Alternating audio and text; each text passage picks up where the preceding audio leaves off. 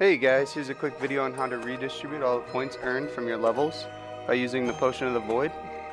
So after using the potion, if you have strong armor on, it likely has skill point buffs that will still be distributed, but if you're level 30, you should add 87 points to redistribute.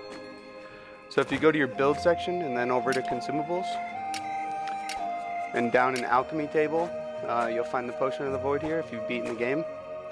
Um, and this will require an alchemy table, a minor healing potion, a minor mana potion, and an energy crystal. So if you're having trouble getting the ingredients, you can take a look at my videos on where to find or craft them the, in the top right.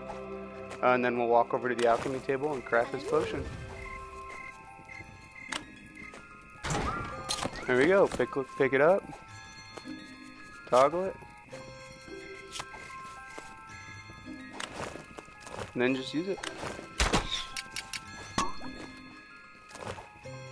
So if you go over to your skills section, you'll see I have 87 points to mess around with.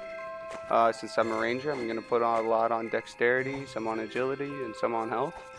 And that's it. Thanks for watching.